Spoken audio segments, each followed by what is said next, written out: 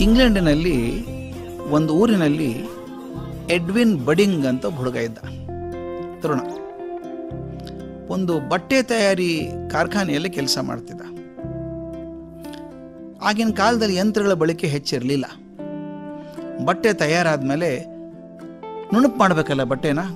ಯಾಕಂದರೆ ಬಟ್ಟೆ ಮೇಲೆ ಸಣ್ಣ ಸಣ್ಣ ದಾರದ ಗಂಟು ಬರ್ತವೆ, ಬಿಡಿ ದಾರದ ಎಳೆ ಬರ್ತದೆ, ಎಣಿಕೆ ಮಾಡಿದಾಗ, ನೇಯ್ಗೆ ಮಾಡಿದಾಗ.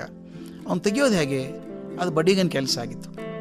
ಮೊದಲು ಒಂದು ರೇಸರ್ ಬ್ಲೇಡ್ ಇಟ್ಕೊಂಡು ಒಂದೇ ಕತ್ತರಿಸ್ತಾ ಇದ್ರು. ಅದು ಸರಿ ಆಗಲಿಲ್ಲ ಅಂತ ಒಂದು ಮಷಿನ್ ಮಾಡಿದರು.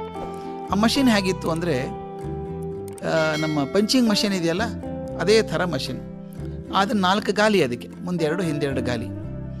ಆ ಗಾಲಿ ನಡುವೆ ಒಂದು ಪಟ್ಟಿಯೊಳಗೆ ಒಂದು ತಿರುಗುವಂಥ ಬ್ಲೇಡು ರೊಟೇಟಿಂಗ್ ಬ್ಲೇಡ್ ಅಂತಾರೆ. ಒಂದು ಬ್ಲೇಡ್ ತಿರುಗ್ತಾ ಇರ್ತದೆ. ಅವ್ರೇನು ಮಾಡೋರು, ಬಟ್ಟೆ ಹಿಂಗೆ ಹಾಸ್ಬಿಡೋದು ಟೇಬಲ್ ಮೇಲೆ, ಆ ಕಡೆ ಒಬ್ಬರು ಈ ಕಡೆ ಒಬ್ಬರು ಕೂತ್ಕೊಂಡು ಈ ಮಷಿನ್ ಹಿಡ್ಕೊಂಡು ಆ ಬಟ್ಟೆ ಮೇಲೆ ಹೀಗೆ ಹೀಗೆ ಎಳಿತಾ ಇರ್ಬೇಕು ಹೀಗೆ.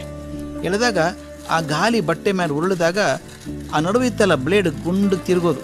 ತಿರುಗಿದಾಗ ಬಟ್ಟೆ ಮೇಲೆ ಟಕ್ ಟಕ್ ಕತ್ತರಿಸ್ತಾ ಹೋಗ್ತಾ ಇತ್ತದು ಕತ್ತರಿಸ್ಕೊಂಡು ಹೋದಾಗ ದಾರ ದಾರದ ಗಂಟು ಆ ಬ್ಲೇಡಿಗೆ ಸಿಕ್ಕಿ ಕತ್ತರಿಸಿ ಹೋಗ್ತಿದ್ದು ಇಡೀ ದಿವಸ ಹೀಗೆ ಮಾಡ್ತಾನೆ ಇರಬೇಕು, ಬಲಗೈಯಿಂದ ಹೀಗೆ ಹೀಗೆ ಹೀಗೆ ಎಳಿತಾನೆ ಇರಬೇಕು ಬಟ್ಟೆ ಮೇಲೆ. ಮಾಡಿ ಮಾಡಿ ಕೈ ಸೋತು ಹೋಗ್ತಾ ಇತ್ತು, ಕೈ ಬಿದ್ದೇ ಹೋಗ್ತಿತ್ತು. ಅವನಿಗೆ ಭಾನುವಾರ ಬಂತು ಅಂದರೆ ಸಾಕಪ್ಪ. ಕೈಗೊಂದು ವಿಶ್ರಾಂತಿ ಕೊಡಬೇಕಲ್ವಾ? ಬರೀ ನಿದ್ದೆ ಮಾಡೋನು, ಕೈಗೆ ರೆಸ್ಟ್ ಕೊಡಬೇಕು ಅಂತ. ಇಂಗ್ಲೆಂಡಲ್ಲಿ ಯಾವಾಗಲೂ ಮಳೆ ತಾನೆ? ತುಂಬ ಹುಲ್ಲು ಬೆಳೆದು ಬಿಡುತ್ತದೆ ಮನೆ ಸುತ್ತಮುತ್ತಲ. ಬಡಿಂಗನ್ ತಾಯಿ ಒಂದೇ ದೂರ ಮಾಡೋಳು. ಎಡ್ವಿನ್, ಬರೀ ನಿದ್ದೆ ಮಾಡ್ತೀಯಲ್ಲೋ ಮಾರಾಯ ನೀನು? ಉಳಿದ ದಿವಸ ಕೆಲಸಕ್ಕೆ ಹೋಗ್ತೀಯ? ಮನೆ ಕೆಲಸಕ್ಕೆ ಸಿಗೋಲ್ಲ. ಭಾನುವಾರ ಮಲ್ಕೊಂಡ್ಬಿಡ್ತೀಯ? ಹುಲ್ಲು ಹೇಗೆ ಬಂದಿದೆ ನೋಡು ಕಾಡಾದಂಗೆ ಆಗಿದೆ. ಎಷ್ಟು ಬಂದಿದೆ ಅದು? ಒಳಗಡೆ ಹಾವು ಸೇರ್ಕೊಂಡ್ರು ಗೊತ್ತಾಗಲ್ಲಪ್ಪ. ಕತ್ತರಿಸೋದನ? ಆಲಸ್ಯ ಮಾಡಬೇಡ. ಅಂತ ದಿನ ತಾಯಿ ಭಾನುವಾರ ಹೇಳೋರು. ಇವನು ಆಲಸ್ಯನ ತಲ್ಲೋನು. ಹುಲ್ಲು ಕತ್ತರಿಸೋದು ಆಗಿನ ಕಾಲದಲ್ಲಿ ಸುಲಭ ಆಗಿರಲಿಲ್ಲ. ಸ್ನೇಹಿತರೆ, ಹೇಗೆ ಮಾಡ್ತಿದ್ರು ಅಂದರೆ ಉದ್ದವಾದ ಒಂದು ಕತ್ತಿ ಇರಬೇಕು ಕೈಯಲ್ಲಿ. ಕೆಳಗಡೆ ಮೊಳಕಾಲುವರು ಕೂತ್ಕೋಬೇಕು. ಕೈಯಿಂದ ಹೊಡೆದು ಹೊಡೆದು ಹೊಡೆದು ಹೊಡೆದು ಈಗಾದರೂ ಹಳ್ಳಿ ಕಡೆ ಹಾಗೆ ಮಾಡ್ತಾರೆ. ಸಣ್ಣ ಕತ್ತಿಯಿಂದ ಹುಲ್ಲು ಕತ್ತರಿಸ್ತಾರೆ. ಅವ್ನು ಹಾಗೆ ಹೊಡೆದು ಹೊಡೆದು ಕತ್ತರಿಸ್ಬೇಕು. ಆಮೇಲೆ ಹೊಡೆದು ತೊಗೊಂಡು ಹೋಗಿ ಹುಲ್ಲೆಲ್ಲ ಹೊರಗೆ ಚೆಲ್ಲಿ ಬರಬೇಕು. ಇದು ಮತ್ತು ಕೈ ನೋವಿನ ಕೆಲಸನೇ. ಹೊಡೆಯೋದಕ್ಕೆ ಸುಲಭನ ಅದು. ಒಂದು ದಿವಸ ಬಡಿಗೆಗೆ ಯೋಚನೆ ಬಂತು. ಏನಾದರೂ ಮಾಡ್ಬೇಕ್ರಿ. ಹೊಡೆದು ಹೊಡೆದು ಕೈ ನೋಯಿಸುತ್ತೆ, ಹಾದಿ ಹುಡುಕ್ಬೇಕು ಅಂದ. ಮನೆ ಅಟ್ಟದ ಮೇಲೆ ಹತ್ತಿದ. ನಮ್ಮೆಲ್ಲ ಮಧ್ಯಮ ವರ್ಗದ ಮನೆ ಅಟ್ಟ ಇರ್ತದೆ. ಅಟ್ಟದಲ್ಲಿ ಯಾವ ಸಾಮಾನು ಬಿಟ್ಟಿರಲ್ಲ, ನಾವು ಅಲ್ಲೇ ಇಟ್ಟಿರ್ತೀವಿ. ಐವತ್ತು ವರ್ಷ ಸಾಮಾನು ಅಲ್ಲೇ ಇರ್ತದೆ. ಇವನು ಹಾಗೆ ಮೇಲೆ ಹೋದ. ಅಟ್ಟ ಹತ್ತಿ ನೋಡಿದಾಗ, ಇವನು ಬಾಲಕನಾಗಿದ್ದಾಗ, ಇವನು ಕೂಡಿಸ್ಕೊಂಡು ತಿರುಗಾಡಕ್ಕೆ ಹೋಗ್ಬೇಕಾದ್ರೆ ಒಂದು ತಳ್ಳು ಬಂಡಿ ಇತ್ತಲ್ಲ ಪ್ಯಾರಾಂಬುಲೇಟರ್ ಅಂತ ಪ್ರ್ಯಾಮ್ ಅಂತ ಕರಿತೀವಿ. ಅದಿತ್ತು. ಹಾಗೆ ಬಿದ್ದಿದ್ದು ಯಾರು ಹೊರಗೆ ಎಸ್ತಿರ್ಲಿಲ್ಲ ಅದನ್ನು. ಅದು ನೋಡಿದ ತೆಳಗೆ ತಂದು ಎಲ್ಲ ಒರೆಸಿ ನೋಡಿದ. ಮುಂದೆ ಎರಡು ಗಾಲಿ, ಹಿಂದೆ ಎರಡು ಗಾಲಿ ಇತ್ತದು. ಅದನ್ನ ಎತ್ಕೊಂಡು ಕಂಬಾರ ಕಡೆ ಹೋದ ಊರಲ್ಲಿ.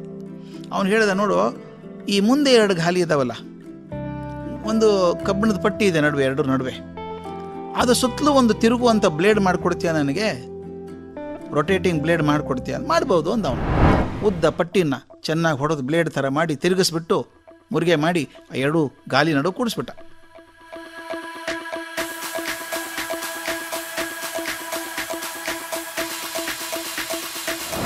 ಬಡಿಂಗ್ ಏನು ಮಾಡಿದೆ ಗೊತ್ತಾ?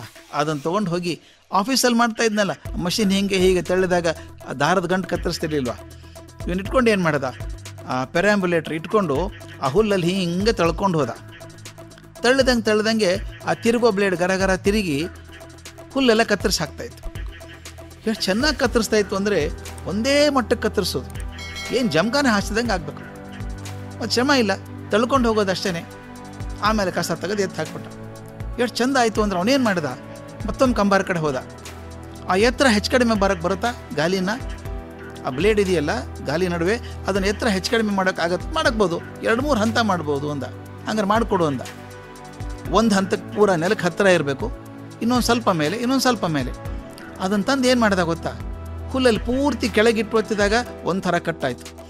ಅದ್ರ ಮಗ್ಲಿಗಿನ ಪ್ಯಾಚನ್ನು ಸ್ವಲ್ಪ ಎತ್ತರದಲ್ಲಿ ಮಾಡಿದ. ನೋಡಿದ್ರೆ ಜಮಖಾನ ಹಾಸಿದಷ್ಟು ಚಂದ ಕಾಣಿಸೋಕೆ ಶುರು ಆಯಿತು. ಎಲ್ಲಿ ತೀರಾ ತೆಳುವಾಗಿ ಕತ್ತರಿಸಿದಾನೋ ಬೆಳ್ಳಗೆ ಕಾಣಿಸೋದು. ಸ್ವಲ್ಪ ಜಾಸ್ತಿ ಹಸೂರು ಇಲ್ಲದಲ್ಲಿ ಹಸಿರು ಕಾಣಿಸೋದು. ತಾವು ನೋಡಿರಬೇಕು ಕ್ರಿಕೆಟ್ ಮೈದಾನದಲ್ಲೆಲ್ಲ ಜಬ್ಖಾನ ಹಾಸ್ದಂಗೆ ಕಾಣುತ್ತಲ್ಲ, ಅದೇ ಅದು ಇದ್ದದ್ದು. ಅವನು ಮೂರು ಹಂತ ಮಾಡ್ಕೊಂಡು ಗ್ರಾಸ್ ಕತ್ತರಿಸೋಕೆ ಶುರು ಮಾಡಿದ. ಅವನ ಶ್ರಮನೂ ಕಮ್ಮಿ ಆಯಿತು. ಪಕ್ಕದ ಮನೆಯವ್ರು ನೋಡಿದರು, ಏನು ಚೆನ್ನಾಗಾಗಿದೆಯಲ್ಲೋ, ನಮ್ಮ ಮನೆಗೆ ಮಾಡಿಕೊಡ್ತೀಯಾ? ಅಂತ ಕೇಳಿದ್ರು. ಮಾಡ್ತೀವಿ, ಆದರೆ ಒಂದು ತಾಸಿಗೆ ಐದು ಪೌಂಡ್ ಆಗ್ತದೆ ಅಂತ ಮಾಡು, ಅಂದರು. ಅವನು ಹೋದ. ಅವನು ಏನಾಯಿತು ಗೊತ್ತಾ ಈಗ? ಎಷ್ಟು ಡಿಮಾಂಡ್ ಬರೋಕ್ಕೆ ಶುರು ಆಯಿತು ಅಂದರೆ, ನಮ್ಮನೆ ಗ್ರಾಸ್ ಹುಲ್ ಕತ್ತರಿಸು, ನಮ್ಮನೆ ಹುಲ್ ಕತ್ತರಿಸು. ಅವನು, ಆ ಇದನ್ನು ಬಿಟ್ಟೇ ಬಿಟ್ಟ. ತನ್ನ ಬಟ್ಟೆ ಫ್ಯಾಕ್ಟ್ರಿಗೆ ಹೋಗೋದೇ ಬಿಟ್ಬಿಟ್ಟ. ಇಂಥದ್ದು ಇನ್ನೊಂದು ಮೂರು ನಾಲ್ಕು ಹಳೆ ಪ್ಯಾರಾಂಬುಲೇಟರ್ ತೊಗೊಂಬಂದ. ಅವಕ್ಕೆಲ್ಲ ಬ್ಲೇಡ್ ಕೂಡಿಸಿದ. ಇನ್ನೊಂದು ನಾಲ್ಕು ಜನ ಹುಡುಗರನ್ನ ಇಟ್ಕೊಂಡ. ನೀ ಆ ಮನೆಗೆ ಹೋಗು, ನೀ ಈ ಮನೆಗೆ ಹೋಗು ಅಂತ ಹೇಳಿ ದುಡ್ಡು ಕಲೆಕ್ಟ್ ಮಾಡಿ ದುಡ್ಡು ಗಳಿಸೋಕೆ ಶುರು ಮಾಡಿಬಿಟ್ಟ ಚೆನ್ನಾಗಿ. ಶ್ರೀಮಂತ ಆಗಿಬಿಟ್ಟ. ಎಲ್ಲಿವರೆಗೂ ಮನೆ ಒಂದು board ಬರ್ಕೊಂಬಿಟ್ಟ Edwin Budding the grass cutter ಅಂತ ಬೋರ್ಡ್ ಹಾಕ್ಕೊಂಬಿಟ್ಟ ಹತ್ತಾರು ಮಷಿನ್ ಇಟ್ಕೊಂಡ. ಧನಿಕ ಆದ ನೋಡಿ, ಅದು ಹುಲ್ಲು ಕತ್ತರಿಸೋ ಮಷಿನ್ ಬಂತು. ಇವತ್ತಿಗಾದರೂ ಲಾನ್ ಮೋವರ್ ಅಂತ ಕರಿತೇವೆ ನಾವು. ಹುಲ್ಲು ಕತ್ತರಿಸುವಂಥ ಮಷೀನು. ಇದು ಬಂದದ್ದು ಎಡ್ವಿನ್ ಬಡಿಂಗ್ನಿಂದ ಬಂದದ್ದು. ಎಷ್ಟು ಚಂದ ಅನಿಸುತ್ತೆ ಇದು. ಈ ಹುಲ್ಲು ಕತ್ತರಿಸೋ ಮಷೀನ್ ಇದೆಯಲ್ಲ, ಇದರ ಕಲ್ಪನೆ ಬಂದದ್ದು ಎಲ್ಲಿಂದ ಗೊತ್ತಾ? ಬಟ್ಟೆ ಕಾರ್ಖಾನೆಯಿಂದ. ನಾ ಯಾವುದೇ ಕೆಲಸ ಮಾಡುವಾಗ ಈ ಕೆಲಸನ ಮತ್ತೇನಾದರೂ ಮಾಡ್ಬೋದಾ? ಮತ್ತೇನಾದರೂ ಮಾಡಬಹುದಾ? ಈ ಮಾಡ್ತಿರುವಂಥ ತತ್ವ ಬೇರೆ ಕಡೆ ಬಳಸಬಹುದಾ? ಅಂತ ಒಂದು ಚೂರು ಉತ್ಸಾಹದಿಂದ, ಕುತೂಹಲದಿಂದ ನೋಡಿದಾಗ ಬಹುದೊಡ್ಡ ಆವಿಷ್ಕಾರ ಆಗೋಕ್ಕೆ ಸಾಧ್ಯ ಇದೆ. ಅದಕ್ಕೆ ನಾನು ಹೇಳೋದು ಸುತ್ತಮುತ್ತಲ ಪ್ರಪಂಚವನ್ನು ಸ್ವಲ್ಪ ಸರಿಯಾಗಿ ಗಮನಿಸ್ರಿ. ಯಾವುದೋ ಒಂದು ಚಿಂತನೆ, ಯಾವುದೋ ಒಂದು ತತ್ವ ಮತ್ತೊಂದನ್ನು ಹೇಗೆ ಪ್ರಚೋದನೆ ಮಾಡಿತು ಅಂತ ಗೊತ್ತಾಗುತ್ತೆ. ಒಂದು ಚಿಂತನೆಯ ದೀಪ ಮತ್ತಷ್ಟು ದೀಪಗಳನ್ನು ಬೆಳಗಿಸುತ್ತೆ. ಅದಕ್ಕೆ ಎಡ್ವಿಂಗ್ ಬೆಡಿಂಗನ್ನು ಹುಲ್ ಕತ್ತರಿಸೋ ಮಷೀನೇ ಸಾಕ್ಷಿ. ಎಲ್ಲೋ ಬಟ್ಟೆ ಕಾರ್ಖಾನೆದ್ದಂಥ ತತ್ವ ಇವತ್ತು ಲಾನ್ ಮೂವರ್ ಆಯಿತು. ಅದು ಮತ್ತೆಲ್ಲೋ ಬೆಳಗಣೆ ಆಗ್ತದೆ. ಆದ್ದರಿಂದ ಒಂದು ಸಿದ್ಧಾಂತ ಮತ್ತೊಂದು ಆವಿಷ್ಕಾರಕ್ಕೆ ಕಾರಣ ಆಗ್ತದೆ ಅನ್ನೋದು ಯಾವಾಗ ಅಂದರೆ ನಮ್ಮ ಮನಸ್ಸನ್ನು ತೆರೆದಿಟ್ಕೊಂಡು.